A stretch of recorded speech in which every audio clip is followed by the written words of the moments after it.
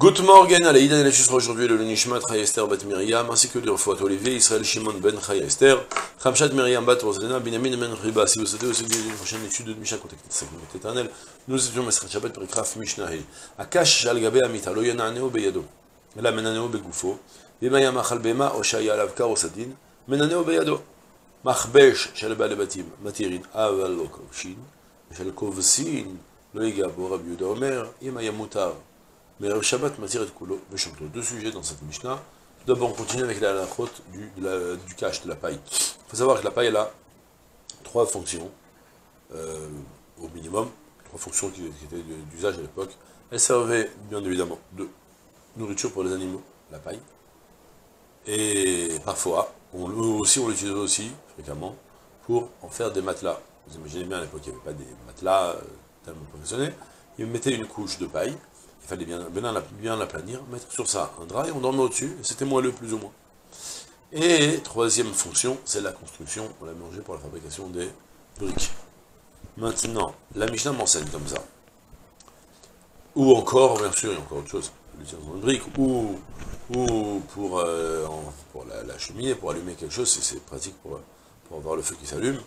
Maintenant, ces dernières fonctions que j'ai utilisées, la cheminée et la, la construction, ce sont des ça fait que la paille n'est pas un ustensile, on n'a pas le droit de déplacer pendant le Shabbat.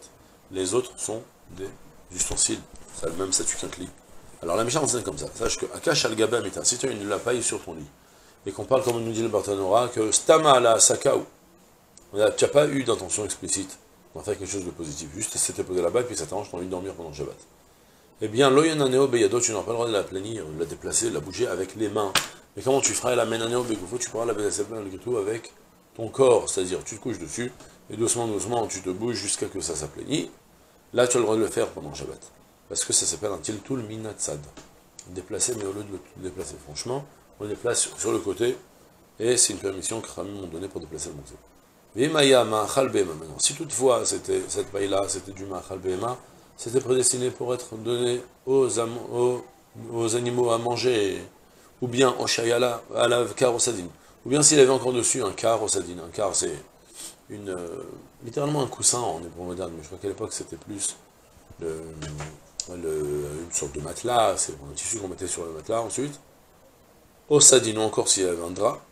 Donc, si toutefois, je recommence la phrase, si toutefois en fait, il y a une preuve que c'était prédestiné pour la nourriture des animaux, ou encore si c'était prédestiné pour le couchage, alors maintenant, sache que dans ce cas-là, c'est plus mou que c'est Menaneo Beyado, tu auras le droit même de les déplacer avec les mains. Ok? Deuxième sujet de la Mishnah maintenant. Machbesh Shel Baale Batim. Comme nous dit le Tiferet Israël, regardez-le parce que c'est trop joli comme on l'a fait. La presse C'est exactement ça. On parle d'une presse, mais d'une presse d'époque. Aujourd'hui, une presse pour euh, passer les animaux, c'est, évidemment, c'est avec euh, de la chaleur et de l'eau. Mais à l'époque, ils utilisaient, ils avaient d'autres techniques il pliait apparemment les habits.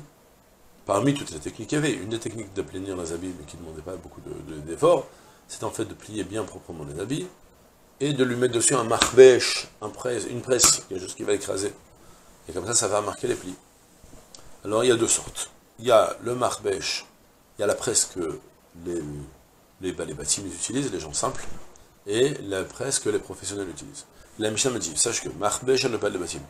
Un marbèche, donc cette presse qui appartient, qui, est, qui, appartient et qui est d'usage chez les balébatim, chez les, le commun des gens, matirine, eh bien sache que si toutefois tu as laissé dedans un vêtement, tu as oublié ta chemise de Shabbat et dedans, aucun problème, matirine, tu auras le droit d'ouvrir et tu déclipes et tu récupères là-bas euh, ton vêtement.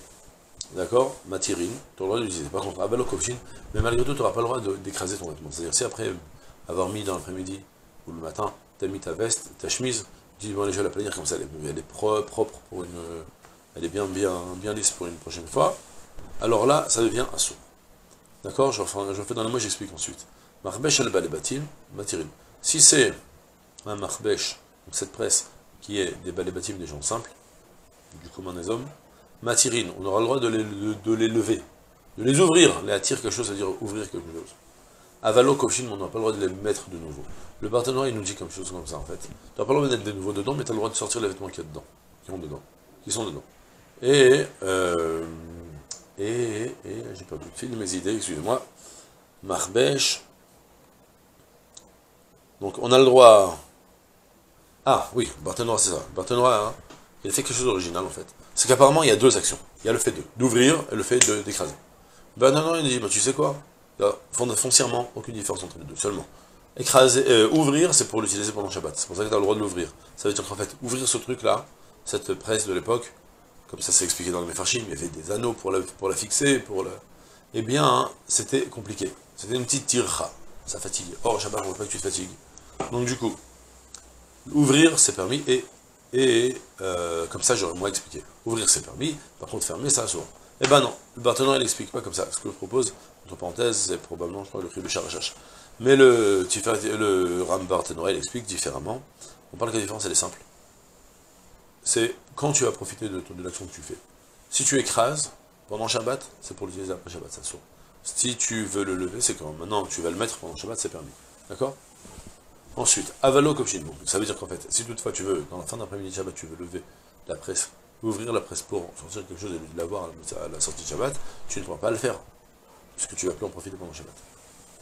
Donc maintenant, al. Donc je reprends. La presse des balebatim des gens simples, tu as le droit de l'ouvrir, mais tu n'as pas le droit de la d'écraser les vêtements dedans avec. Meshal kovsin, par contre. Seul le marbesh, la presse qu'utilisent les kovsin, les professionnels qui ont la laverie, comment dire, la buanderie, non, la laverie, je crois que ça se dit, la, laverie, donc, qui vont laver, qui lavent le linge des autres, et qui après les repassent, leur marbèche, cette fois-ci, leur presse, elle est beaucoup plus violente, et de ce fait, elle devient mouktsé mahmat risankis. On lui fixe une place, on la bouge plus, et elle devient mouktsé mahmat risankis, c'est un des plus compliqués des mouktsé, qui n'ont plus le droit de la déplacer pendant Shabbat. Le higabo, tu ne pourras pas la toucher pendant Shabbat. Malgré tout, Rabbi Yuda Omer, Rabbi Yuda nous dit, attends, si toutefois, le marbèche, c'est vrai que tu n'avais pas le droit de l'ouvrir pendant Shabbat. Mais si pendant Shabbat, tu as commencé à le décliper, mais qu'il n'est pas déclipsé, mais qu'il a encore quelques, attaches, mais plus tellement, mais oudak, plus tellement qui écrase, alors là, on va même, Abuda nous dit, Shabbat, droit dans ce cas-là de continuer à l'ouvrir pendant Shabbat et récupérer ton vêtement, tandis que les ne sont pas entrés dans ces considérations. Et c'est tout pour aujourd'hui, je vous souhaite une journée pleine de Sarah Golto, salam.